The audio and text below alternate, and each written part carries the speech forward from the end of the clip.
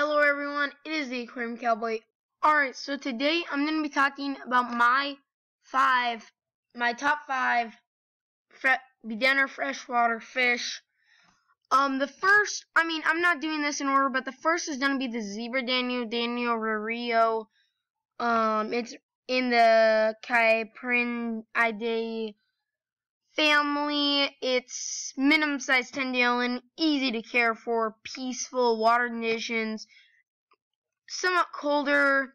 So if you live in a warmer region like something like Hawaii, you would want maybe a slight chiller on this or at least your home temperature to be lower.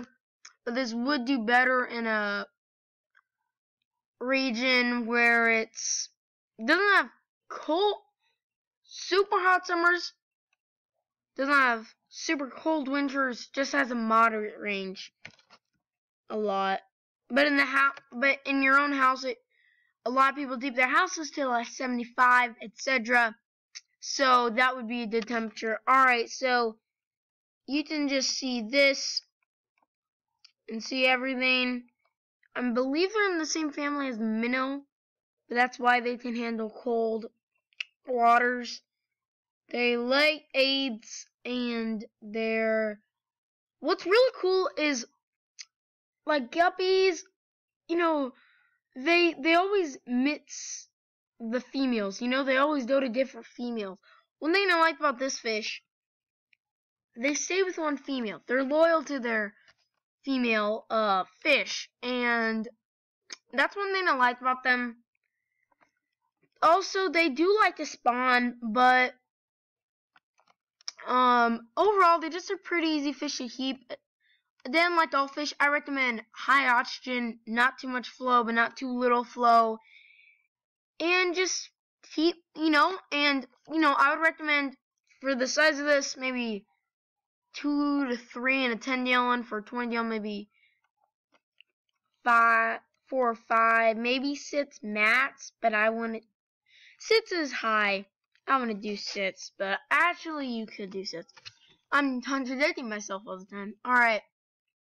Next, we got the Neon Tetra. This is the Jumbo, which I like this one better, even though it's probably going to be a little bit harder to find. It's the Para Cherry Chero Dawn in in in I any Sai um the Cherokee Cherokee a hope I'm saying that right uh, family.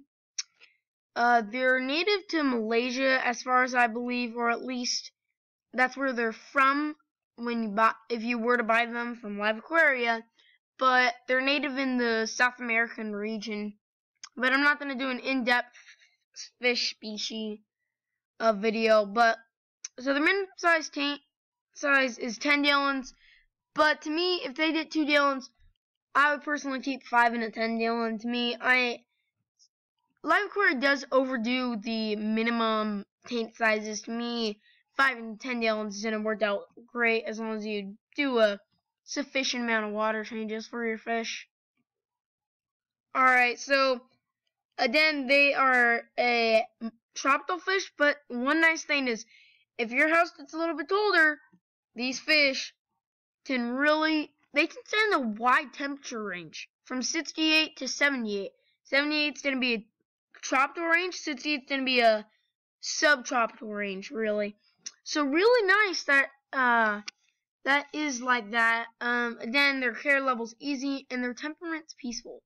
That's all the information on pH, KH. Here you go. Alright. They also like sight, lightly acidic water. Like any fish, you want high quality food, frozen bloodworms, frozen blackworms, etc., etc., etc. But unless they're herbivore, uh, then you would want, I mean herbivore, then you would want algae and plants and, and then etc., etc., etc. Alright, so now I'm going to be moving to the next fish. Alright, so this is one of my more favorite fish on this list that I really am possibly looking into keeping soon. Um, that's the American flagfish or the Jordanella floridae. Day. Um, I don't know if you pronounce the E or not. Probably not, though. Um, one nice thing is they can go rather small tanks, but I recommend a min minimum of five. At least that's what I saw on one website when I was looking them up. Um, they're colder water, in theory. Again, hope I don't, I'm not taking Tori's term, but I've been watching him for a couple of years now, or a few. I tend to take his term a lot, uh, just because. It really, I just say it a lot because of him. Um, but then in theory, they are subtropical fish. They can't handle like your 50 degree, 60 or 50, you know, 40, 30 like a goldfish or a koi or a native could. Um, but they can handle relatively cold waters.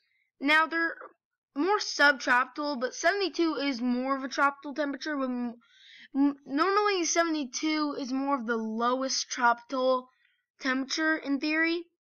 Um, and 66 is more subtropical. Once you get below 60, you're getting into more cold water. But so in theory, they can be kept out during summer. No, unless you live in a quite mild temperature. But they can be, if in theory, outside during the spring, maybe fall, as long as you don't have a really weird fall or spring. Um, if you have a mild winter or mild uh summer, then I guess. But they're, I don't know if I said their family name already. I probably will have a uh, hard time saying it. Again, they tend to represent they kind of look like the American flag. As you can see, they have some green on them, but it they have a little bit of white in some places, and they have the red and the white. Real beautiful, honestly. Alright, so their family name is the Cyprinodontidae. Uh, at least I hope that's how you say it. They're, uh, killifish. I actually didn't know that. It's actually a New World killifish, but that's actually really, really, um, that's, that's awesome.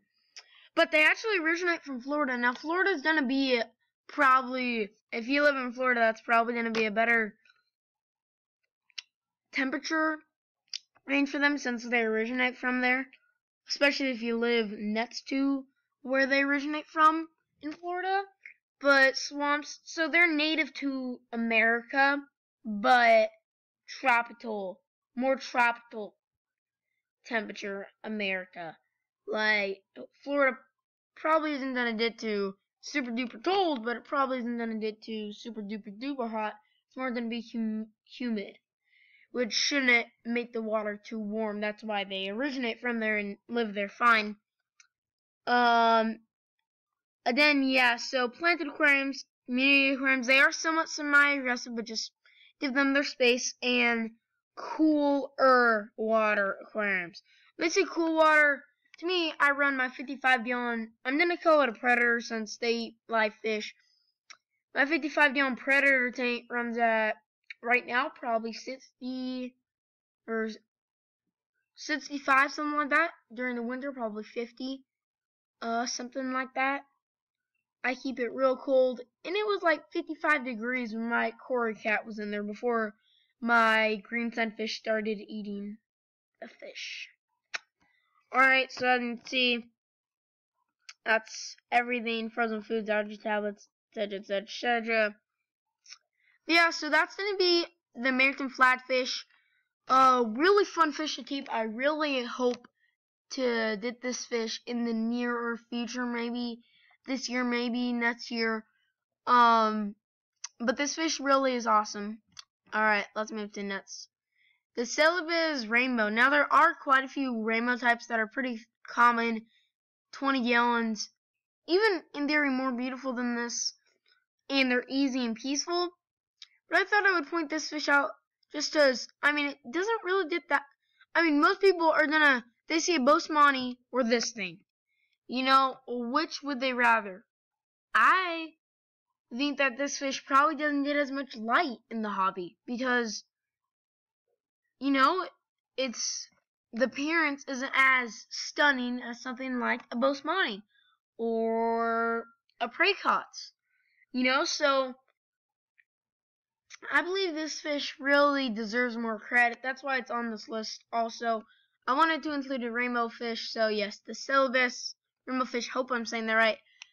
This scientific name looks hard, but I'm going to try to pronounce it. Alright, it's going to be the Telemaphorana.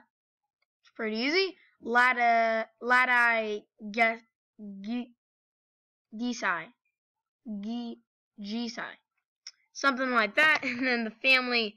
Oh, their origin is Indonesia. Uh, their color form black. I guess it is black. I'm gonna look that up online, see what their actual color formation is. It's kind of weird why they put black and it looks like a clear and yellow fish up there.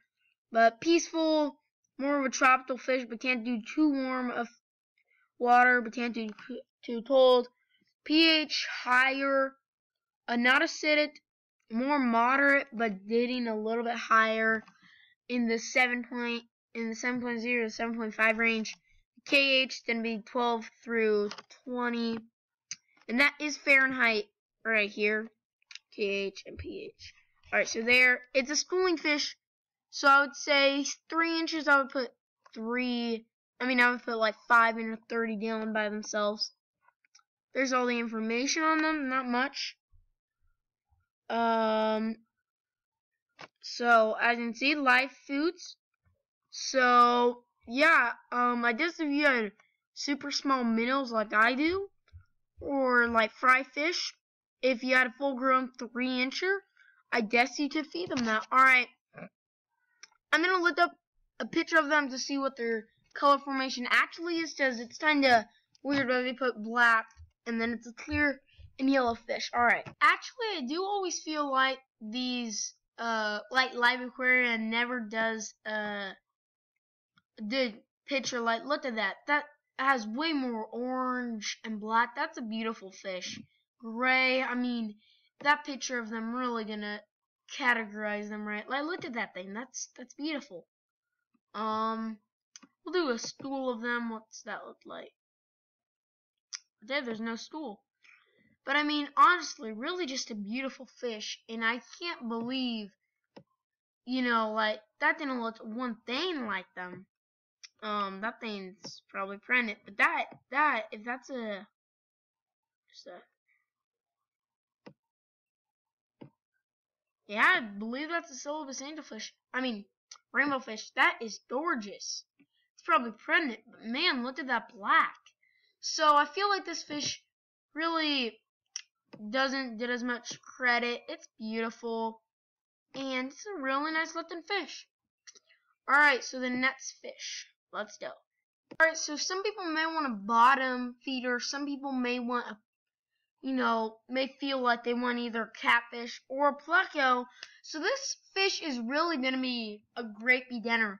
Now, I want to, now it's probably not going to be found in your Petco or PetSmart, but you can probably special order it if you have a local fish store, or in there you can order from Live Aquaria. Beep. And it's only gets four inches, which is a, in theory, in my opinion, very small pleco. Um, peaceful, easy 30 gallons, I would really just keep it in a 15 to 20 gallon. Um, I can't say much on this just because my time's running out. I only have like 30 seconds left. I can see you can stop this video right now and look at that information on them. I'm going to try to pronounce their name. Alright, it is going to be the Pecola, Petol, Pecola Tia species Platyrife China. Alright, and then the Laura Cardii. Alright guys, so this is gonna be the last fish. It's a great fish. It's a pleco. Everyone wants one of these cuties. Alright, that's gonna be it for this video. Comment, like, subscribe. I'll see you tomorrow. And God bless. Cowboy out.